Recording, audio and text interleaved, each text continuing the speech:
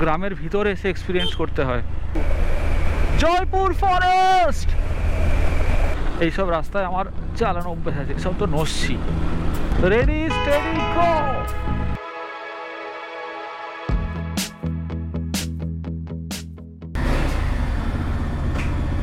আসছি ঠাকুমা।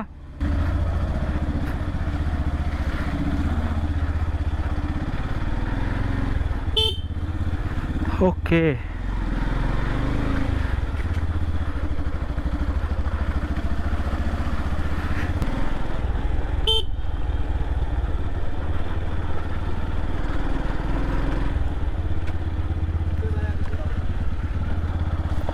okay good morning everyone আজকে শুভ নবমী। তো আজকে ফোন বাজছে সকাল এগারোটা। আর সকাল থেকেই আমি যথেষ্ট ল্যাদ খাচ্ছিলাম। কোথায় যাব কোথায় যাব, কিছু প্ল্যান ছিল না। আমাদের দেখতেই তো পাচ্ছ এরকম গ্রামের রাস্তা। তো এখান থেকে কালকে কামারপুকুর গিয়েছিলাম, কামারপুকুর মঠ ঠাকুর দেখতে। ও জরমাটিও গিয়েছিলাম। তো আজকে কি করব কি করব ভাবতে ভাবতে কালকে দেখতেই পাচ্ছ, বৃষ্টি হয়েছে প্রচণ্ড রাত্রে। সন্ধ্যের দিক করে প্রচণ্ড বৃষ্টি হয়েছে। রাস্তাঘাট সব ভিজে। তো যাই হোক, কালকে সন্ধেবেলাও কোনো প্ল্যান ছিল না, আজকে সকালবেলাও কোনো প্ল্যান ছিল না। আটটার পর হঠাৎ করে আমার মাসি বাড়ি হচ্ছে ওই এখান থেকে ষোলো কিলোমিটার দূরে একটা জায়গা, বদনগঞ্জ বলে, খুবই মানে অচেনা একটা জায়গা। তো সেখানে, তো ওখানে আমার মাসির ছেলে, মাসতো ভাই, ওর নাম টু ভাই ও আছে। ওকে ফোন করলাম যে, ঠিক আছে, চ, একটু ঘুরে আসি বিষ্ণুপুর দিয়ে। ও কালকে এসছে কলকাতা থেকে। ও কলকাতায় থাকে, ওখানেই পড়াশুনো করে। তো যেমন ভাবা, তেমনই কাজ। তো যাই হোক, ওখান থেকে বেরিয়ে পড়লাম মোটামুটি। আজকে ওখানে লাঞ্চ টাঞ্চ করব? হ্যাঁ মাসি মাছ বানাবে বলেছে মাসি উনি তো মাছ টাছ খেয়ে ওখান থেকে মোটামুটি একটা দেড়টা নাগাদ দেড়টা নাগাদ ওখান থেকে বেরিয়ে যাব বিষ্ণুপুর। ওটা অ্যাকচুয়ালি বিষ্ণুপুরের একটু কাছে মানে জয়রামবাটি হয়ে বিষ্ণুপুর যেতে হয়। তো সব পুরো রাস্তাটাই তোমাদের দেখাবো। তো দেখতে দেখতে চলে এসেছি কামারপুকুর চটি কামারপুকুর চটি। আর এইদিকে হচ্ছে আমাদের ইয়ামাহার শোরুম আমার ইয়ামার বাইক কিছু কোনো প্রবলেম হলে মানে বাড়িতে থাকতে থাকতে কোনো প্রবলেম হলে একদম খুবই কাছে আমার শোরুম কোনো সমস্যা নেই। একদম সুন্দর সার্ভিসিং করাতে পারব। তো চলে এসেছি কামারপুকুর চটি, Jayrambati seven kilometre Kharagpur ninety seven kilometre Ghatal forty two kilometre তো এখান থেকে বলে দিই, ওই দূরে যে বিবেকানন্দের স্ট্যাচুটা তোমরা দেখতে পাচ্ছ, এই স্ট্যাচু থেকে সোজা চলে গেলে যাওয়া যায় জয়রামবাটি হয়ে বিষ্ণুপুর বাঁকুড়া, পুরুলিয়া। পুরুলিয়া যাওয়ার রাস্তাটা ওই দিকেই। আর এখান থেকে যদি তোমরা বাঁদিক দিয়ে যাও দেখো দাঁড়িয়ে আছে, বাঁদিকের যে বাসগুলো দাঁড়িয়ে আছে, এই রাস্তাটা যাচ্ছে, একটা যাচ্ছে ক্ষীরপাই হয়ে ঘাটাল হয়ে দীঘা, আর আর বাঁদিকে আরেকটা রাস্তা যাচ্ছে মেদিনীপুর হয়ে, কেশপুর মেদিনীপুর হয়ে সোজা খড়গপুর। সোজা খড়গপুরে হাইওয়েতে উঠছে।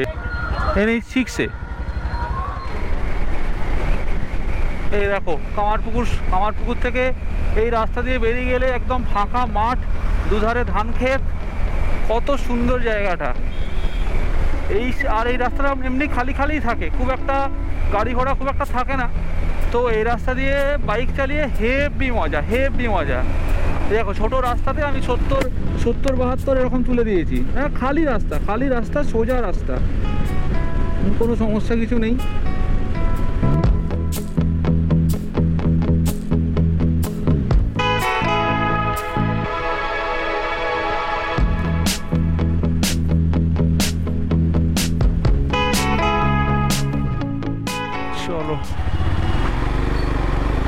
আজকের জন্য তেল ভরা কমপ্লিট তিনশো টাকার তেল ভরে নিয়েছি।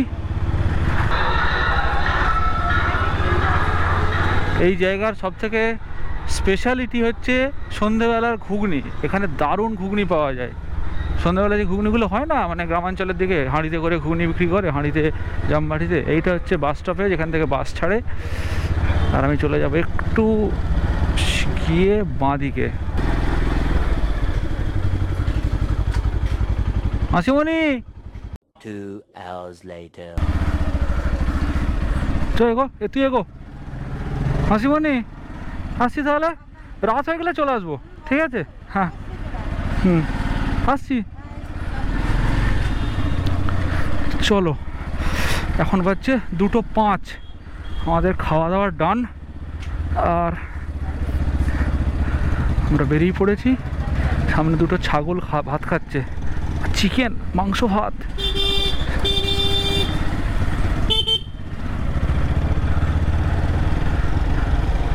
এখান থেকে আমরা সোজা যাব জয়পুরের জঙ্গল। তো এই মোটামুটি গ্রামের ভিতরের রাস্তা। বাঁদিকে মন্দির, এইসব গরু, গোয়াল। এইসব রাস্তা দিয়ে চালাতে না হেভি লাগে। একদম হেভি লাগে মানে দারুণ লাগে। আর এদিকে হালকা হালকা মেঘও ধরেছে, একটা ঝোড়ো হাওয়া দিচ্ছে।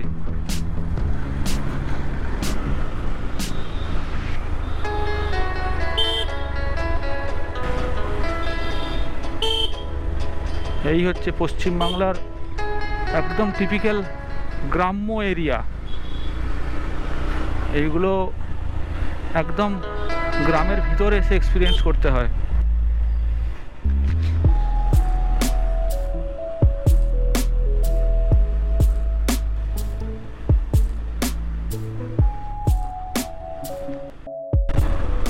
তো গ্রাম শেষ হতেই দেখো কি সুন্দর ধুধু করা মাঠ, ওইদিকে ছোট ছোট জঙ্গল।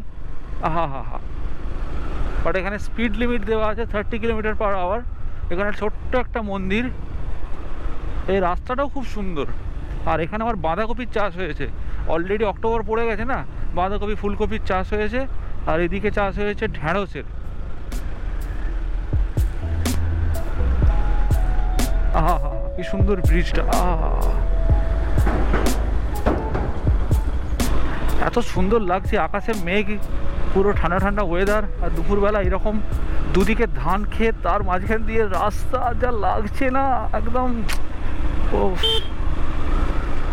আর এত দূর থেকে বাইক এনে এইসব রাস্তায় বাইক চালাবো গ্রামের ভেতরের দিয়ে রাস্তা এ তো আমার স্বপ্ন মশাই। এই দেখো এদিকে কাশফুল। A few moments later. এখন বাজছে পৌনে তিনটে আর আমরা ঢুকছি কতুলপুর। কতুলপুর মোটামুটি আমাদের যেখান থেকে আমরা স্টার্ট করেছিলাম, সেখান থেকে মোটামুটি পনেরো কিলোমিটারের মতো রাস্তা। আর এখান থেকে বাঁদিক নিতে হয়। ডান দিকের রাস্তাটা চলে যাচ্ছে সোজা আরামবাগ হয়ে কলকাতা। আর বাঁদিকের রাস্তাটা চলে যাচ্ছে জয়পুর, বিষ্ণুপুর হয়ে বাঁকুড়া। বাঁকুড়া, পুরুলিয়া সব এই দিকেই যাচ্ছে।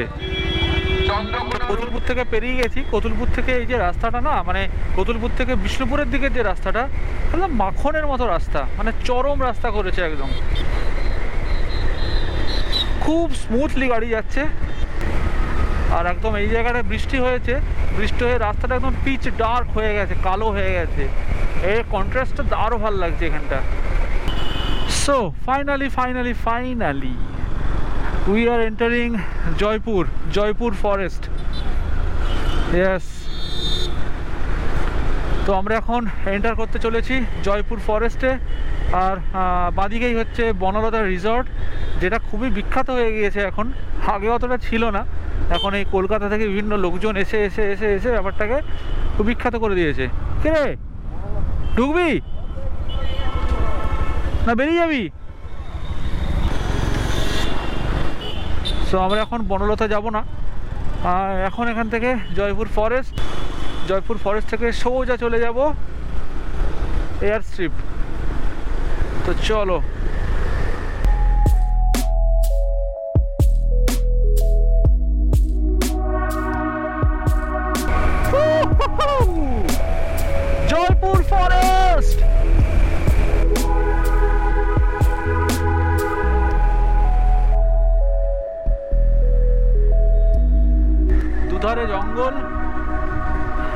ভেজা রাস্তা আর মাঝখান দিয়ে আমাদের গাড়ি যাচ্ছে। অসাধারণ। এই গাড়িটাকে ওভারটেক করতে হবে। আজকে এর জঙ্গলে প্রচুর ট্রাফিক প্রচুর ট্রাফিক এত ট্রাফিক থাকে না জঙ্গলে সাধারণত।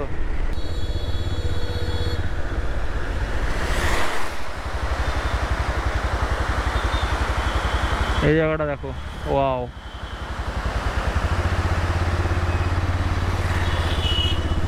এখান থেকে বাঁদিক নিয়ে নিতে হবে। হ্যাঁ চ চ চ।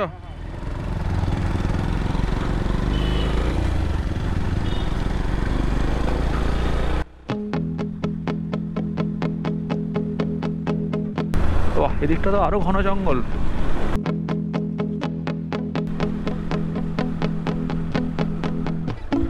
সোজা সোজা সোজা এইটা তিন দিকে কানেক্ট হয় যায়? হ্যাঁ এই বাঁদিকেও যাওয়া যায় সোজাও যাওয়া যায়। এখানে দেখো দেখাচ্ছে সোজা। হ্যাঁ সোজা চ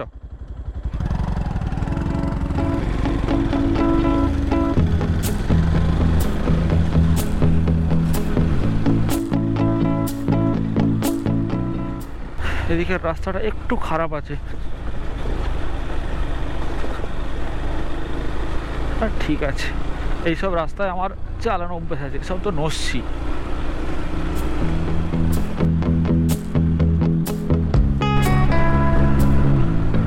বাহ, এখানে একটা রেড লাইনের ক্রসিং পড়ে গেছে।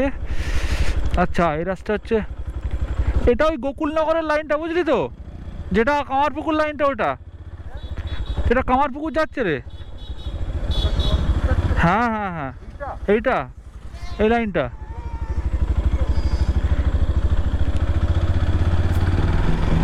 আচ্ছা অতটাই পিচ ছিল। এখান থেকে মোরাম রাস্তা শুরু হয়ে গেছে।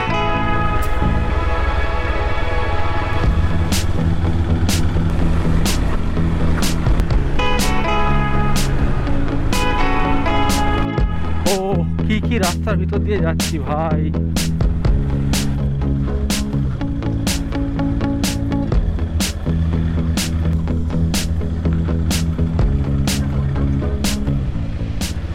এইটা নয় বুঝলি তো? এরকমই আছে হ্যাঁ ঠিক আছে। হ্যাঁ?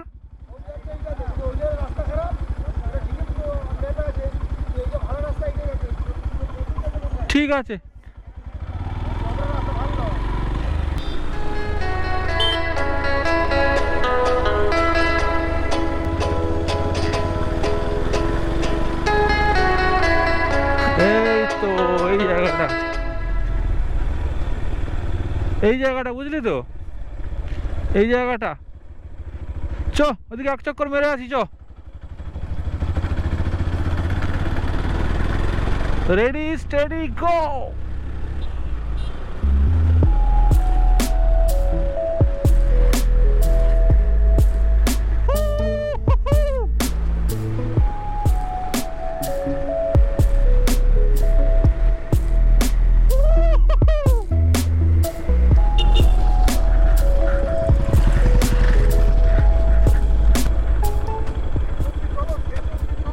আর নেই তো। বেরিয়ে যাওয়ার রাস্তা আছে, আরে এটা তো তোর, এইটা তো তোর ইয়ের দিকে পড়ে গেল, জয়পুরের দিকে পড়ে গেল। বিষ্ণুপুরটা ওই দিক দিয়ে।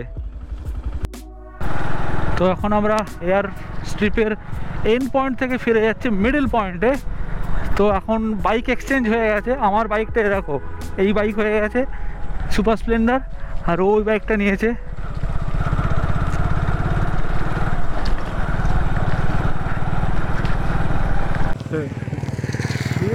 এইটা বেসিক্যালি এখন বাইক রেসিং এর জায়গা হয়ে ও ভাই ও ভাই ও ভাই। হ্যাঁ চলায় চলায় চলায় চলায় হেলমেটগুলো উড়িয়ে দিচ্ছে। তো স্কুটি নিয়ে বেরিয়েছে। A few moments later. তো এখন আমরা জঙ্গলের রাস্তা ছেড়ে দিয়ে আমরা চলে এসেছি হাইওয়েতে এই হাইওয়েটা যাচ্ছে মেদিনীপুর থেকে মানে খড়গপুর থেকে সোজা যাচ্ছে রানীগঞ্জ। এই যে, এই রাস্তাটা সোজা যাচ্ছে বাঁকুড়া। আর আমরা চলে ঢুকে পড়ছি বিষ্ণুপুর। এখন বাচ্চা চারটে কুড়ি। আর আমরা অলমোস্ট চলে এসেছি এখান থেকে রাসমঞ্চ মাত্র দু কিলোমিটার। তো চলো, বিষ্ণুপুর টাউনে ঢুকে গেছি। তো রাসমঞ্চে সোজা রাসমঞ্চে গিয়ে তাহলে দেখা হচ্ছে।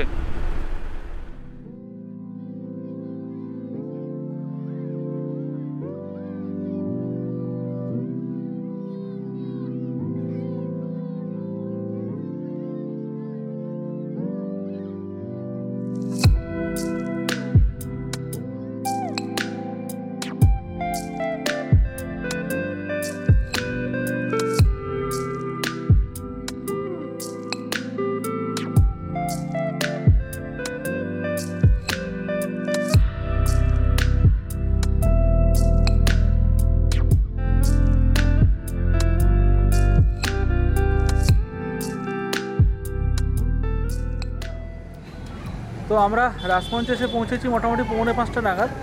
এবার যেটা ঘটনা হয়েছে রাসমঞ্চ জোড়বাংলো আরও আরও একটা স্পট সব মিলে আমাদের টাকা নিয়েছে পঁচিশ টাকা। টিকিটের দাম পঁচিশ টাকা। কিন্তু প্রবলেম যেটা হয়েছে সেটা হচ্ছে পাঁচটা বাজতে পাঁচের আগে তিনটে জায়গায় ঘুরে ফেলতে হবে মানে একটু আর একটু বিকেল বিকেল থেকে শুরু করতে হতো।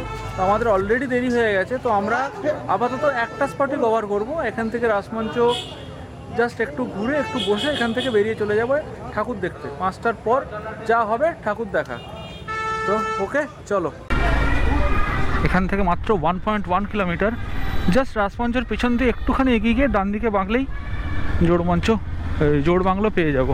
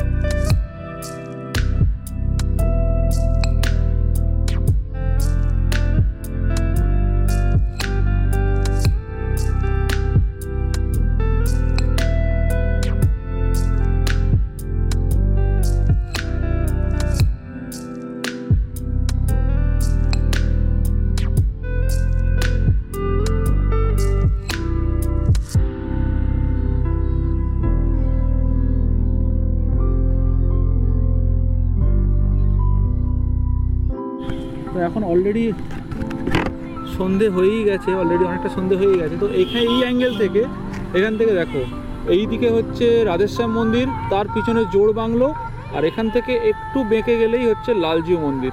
এই মন্দিরটা তো এই মন্দিরটা মোটামুটি এই মন্দিরটা সকাল আটটা থেকে বিকেল চারটে পঁয়তাল্লিশ অবধি খোলা থাকে। তারপরে বন্ধ হয়ে যায় আর এই বাগানটা এই যে পার্কটা রয়েছে এইটা মেনটেনেন্সের জন্য আলাদা করে পাঁচ টাকা টিকিট নেওয়া হয়। আর এই তিনটে মন্দির প্লাস যেটা। রাসমঞ্চ সেই সবগুলো মিলে পঁচিশ টাকা টিকিট তাই তো? পঁচিশ টাকা টিকিট নেওয়া হয়। এই রাধেশ্যাম জিউর মন্দিরের জাস্ট অপোজিটেই হচ্ছে মল্ল রাজাদের যে অরিজিনাল দুর্গা মন্দিরের যে দুর্গা মণ্ডপ সেই মণ্ডপ এখান থেকে জাস্ট ডান দিকে পড়ে।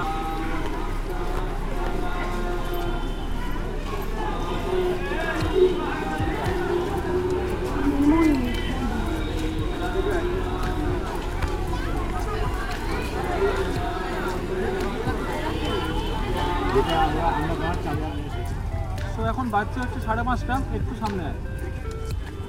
এখন বাজছে সাড়ে পাঁচটা, আর প্রথমে বলেছিলাম যে এটা দেখা হবে না, ওটা দেখা হবে না, এখানে ঢুকতে অ্যালাউ করবে না, কিন্তু নবমীর দিনে মোটামুটি একটু ছাড় ছুড় ফাঁক ফোকর দিয়ে রাসমঞ্চ জোর বাংলো রাধাশ্যামের মন্দির, মৃন্ময়ী মাতার মন্দির, সবই আমাদের মোটামুটি ঘোরা হয়ে গেল। আর এখন মোটামুটি সন্ধে হতে যাচ্ছে। সন্ধেবেলার পর এবারে আমরা এদিক ওদিক জাস্ট কিছুই না খাওয়া দাওয়া করব, একটু ঠাকুর ঠুকুর দেখব। রাস্তায় প্রচণ্ড ভিড়, তো ব্লগটাকে আমি আর কন্টিনিউ করব না। তো ঠিক আছে, এখানেই শেষ করছি ব্লগটা তো ভিডিওটা ভালো লাগলে লাইক শেয়ার সাবস্ক্রাইব করুন। Thank you